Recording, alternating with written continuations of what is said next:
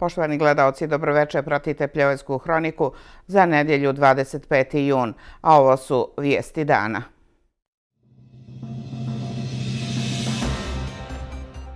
Nakon dva poništena tendera, neizvjestan je završetak radova na prvoj polovini puta od Pljevalja do Metaljke. Vakcinacija MMR i HPV vakcinom ide izuzetno loše u Pljevljima, poručuju epidemiolozi naći rješenja kako bi sva naredna testiranja maturanata i polumaturanata bila u skladu sa zakonom, zaključak je održanog okruglog stola koji je organizovao Sindikat prosvete Crne Gore.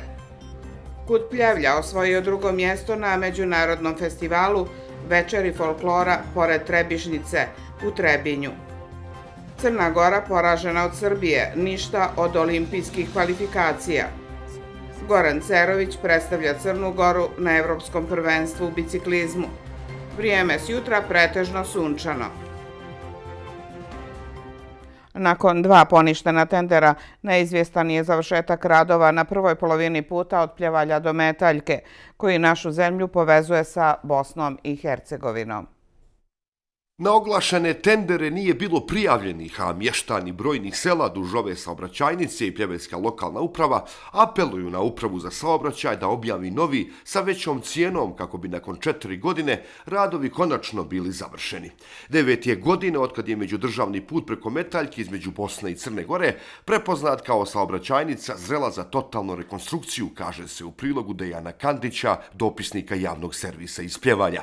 Četiri godine od faznog početka radova radova koji su prvobitno trebali da budu završeni 2021. godine, prvih 16 od ukupno 35 km puta još nije završeno. Nepuna 2 km od Ajevića Hana do Srdanovog groba štrče na ovoj 90% rekonstruisanoj dionici. Na tendere se niko ne javlja, a bojazan je da je potencijalni izvođač otirao nedostatak para.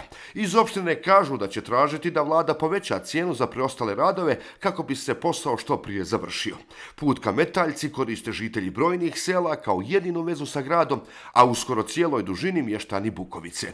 Druga polovina puta kažu u još je lošijem stanju, pa je do grada teško doći. Prije šest godina za sudbinu ovog puta se u formi poslaničkog pitanja interesovao Jervin Ibrahimović, koji sada sa pozicije ministra kapitalnih investicija uprkos obećanjima ne odgovara na novinarska pitanja.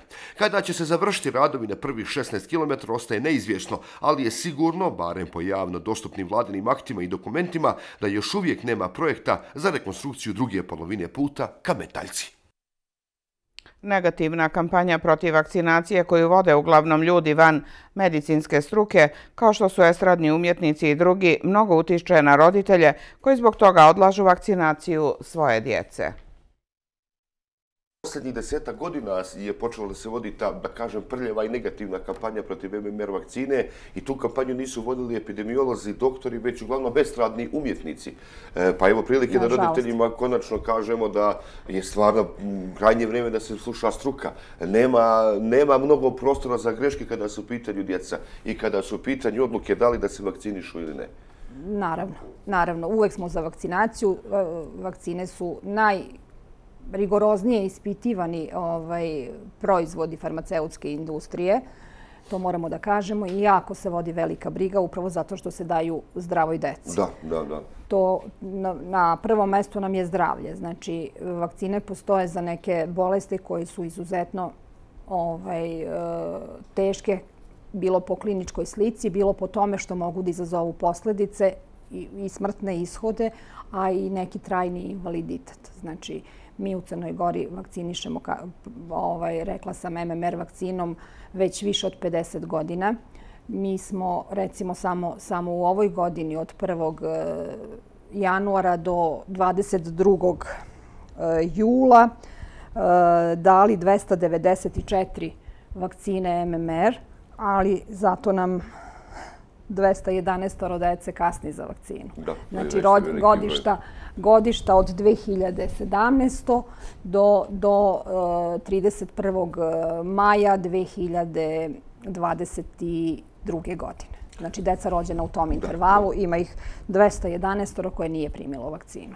E, u bilo koje doba dana, u toku nedelje, od tih 211 djece sa roditeljima, oni mogu doći ne samo kad je kampanja Naravno, naravno. Znači, poziv je otvoren i radnim danima, ali sad smo fokusirani i za ovaj, baš iz tog razloga što se dosta kasni za... Kažem, tu su svakako izabrani ljekari koji mogu biti karika između, odnosno veza između vakcine, da kažem, i djece. Jeste, jeste. Mi, ja kažem, nije naš, ovaj, nisu naši roditelji ti koji, koji ovaj, ne, neće da vakcinišu svoju decu, nego samo odlažu recimo procenat vakcinacije za decu rođenu u 2017. godini je preko 97%. To je dobro.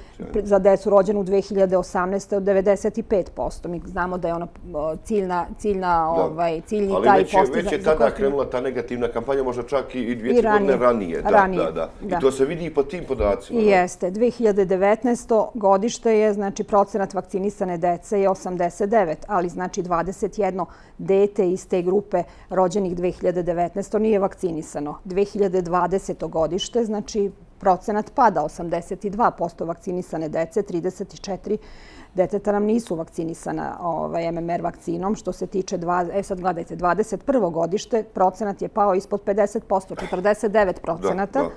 Ovaj, oni su već dostigli, rekli smo, u pravo vreme za vakcinisanje ovaj, prvom dozom MMR vakcine od 12 do 15 meseci. Znači, oni su već, već imaju, da, Ovaj, znači 49% je vakcinisano, 75, 75 dece nije vakcinisano. Što se tiče dve, dece koja su rođena 2022. one već imaju punu godinu dana, većina njih. Da, da. Znači ako kažemo da deca koja su rođena do, do 22.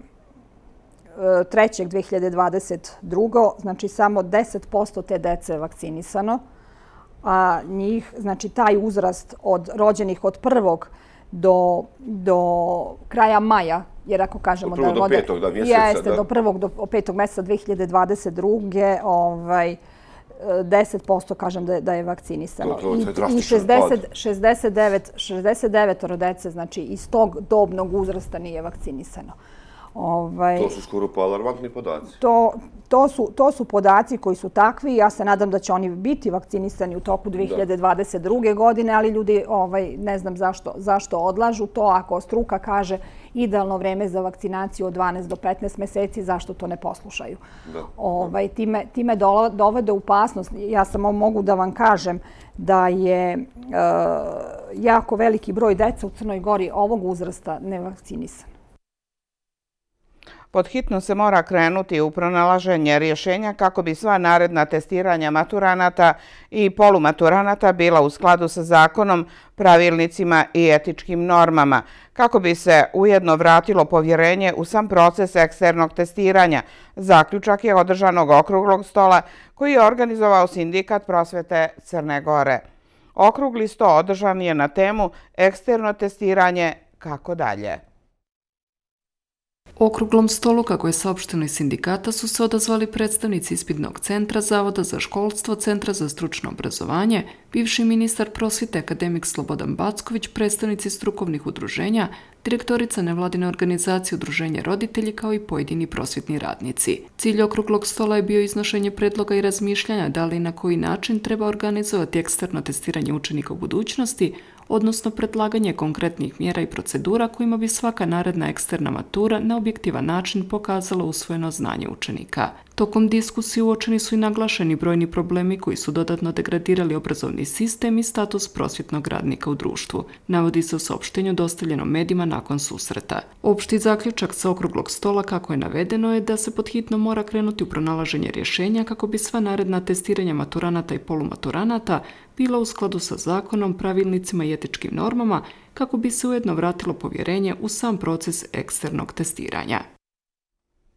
Kud Pljevlja učestvovao je na desetom međunarodnom festivalu folklora u Trebinju. Večeri folklora, pored Trebišnice, osvojivši drugo mjesto u velikoj konkurenciji umjetničkih ansambala iz zemlje i inostranstva. Kako su zadovoljni organizacijom ove manifestacije i kakve utiske nose iz Trebinja, kazao nam je umjetnički direktor Slavko Tošić. Ova godina za članove Kulturno-umjetničkog društva Pljevlja će zasigurno biti upamćena po velikom uspjehu koji su postigli na desetom festivalu folklora u Trebinju pod nazivom Večeri folklora pored Trebišnjice. Iako su već ranije učestvovali na ovoj priznatoj folklornoj manifestaciji, ansambl se po prvi put prijavio na takmičarski dio programa. Umjetnički direktor Slavko Tošić istakao je da su se suočili sa izuzetno jakom konkurencijom umjetničkih ansambala kako iz zemlje, tako i iz inostranstva. Uprkos tome, Kulturno-umjetničko društvo Pljevlja je uspjelo da ostvari izuzetan uspjeh osvojivši drugo mjesto. Ova nagrada predstavlja veliko priznanje za njihov trud, posvećenost i ljubav prema folkloru. Pa da, ovaj, e, mi smo puni, došli smo sa puno utisaka. To je jedan od naj, a, najvećih a, festivala folklora u regionu. On se održava već deset godina, mi smo četiri godine učestvovali. Na tom festivalu ove godine smo se prvi put prijavili za, u takmičarskom dijelu festivala jer smo osjetili da imamo spremnu, spremnu ovaj, ekipu, e, tako da smo se predstavili sa, sa dvije koreografije. Znači, to, o, taj festival traje dvije večeri. A, prvo večer smo igrali Vlaške igre, drugo večer smo igrali igre iz, iz Crne Gore, tako da smo ovaj uspjeli eto, u neverovatno jakoj konkurenciji, jer je to međunarodnog karaktera, to su učestvovali ovaj, i, i, i folklorni ansambli iz Poljske, Bugarske i Srbije, mnogo jaki ansambli za kojih stoje institucije i financije ovaj, iz Bosne i tako da je, da je to jedan, jedan izuzetan festival i izuzetno dobro organizovan festival.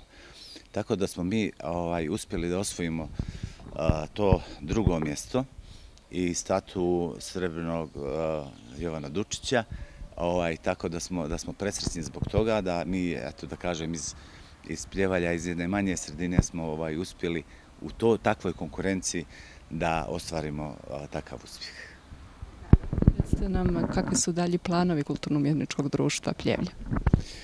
Pa mi smo, mi smo ovaj, a, sad, sad je ovaj ljetni period, sad smo dali djeci malo ovaj raspusta, ali po pozivu mi se skupimo i damo neki, neki ovaj e, određeni program. A, međutim, odbili smo neke, neke ovaj naše e, tradicionalne, da kažem, a, festivale, kao što je festival Vardi u, u Bugarskoj, zbog ove celokupne situacije koja se dešava sa ratom u Ukrajini. Nismo, ne želim da, da ovaj, rizikujem da vodim djecu, a sad smo se fokusirali više na ovaj ove festivale u, u, okruženju, u okruženju. Tako da imamo, imamo nekih naznaka u augustu, ćemo imati i u septembru, ovaj, imat ćemo nekih aktivnosti, ali to je sve u fazi, fazi dogovora. Ostvareni uspjeh na festivalu pružio je članovima Kulturno-umjetničkog društva Pljevlja dodatnu motivaciju da nastave da razvijaju i promovišu bogato kulturno nasledđe kroz svoje nastupe, uz očekivanje da će postići još veće uspjehe u budućnosti.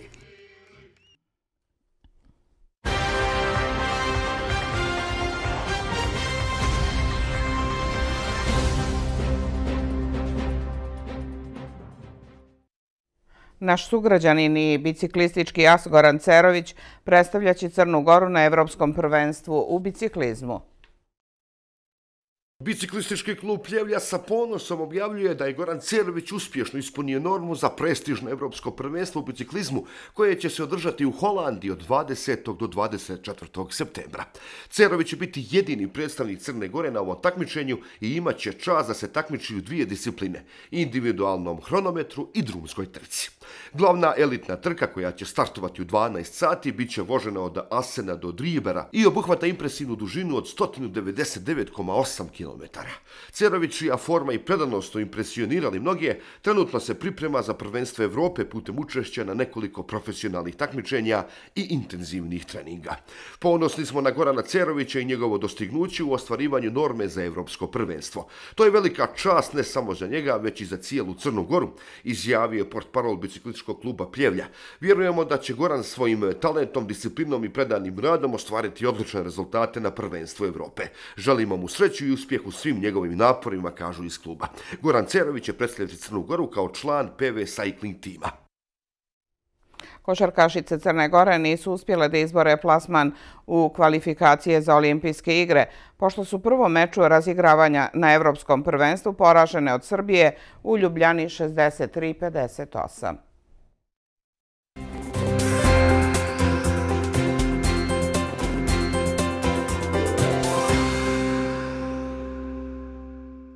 Vrijeme s jutra.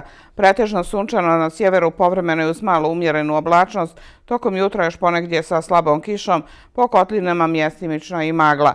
Tokom poslije podnevnih sati razvoj oblaka i mala mogućnost za kratkotrajnu kišu i grmljavinu u planinskim predjelima.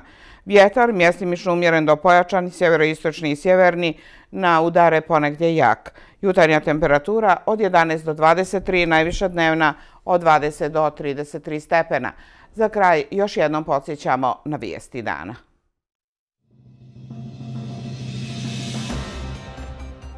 Nakon dva poništena tendera, neizvjestan je završetak radova na prvoj polovini puta od pljevalja do metaljke. Vakcinacija MMR i HPV vakcinom ide izuzetno loše u pljevljima, poručuju epidemiolozi. Naći rješenja kako bi sva naredna testiranja maturanata i polumaturanata bila u skladu sa zakonom, zaključak je održanog okruglog stola koji je organizovao Sindikat prosvete Crne Gore. Kut Pljevlja osvojio drugo mjesto na Međunarodnom festivalu Večeri folklora pored Trebišnice u Trebinju. Crna Gora poražena od Srbije, ništa od olimpijskih kvalifikacija.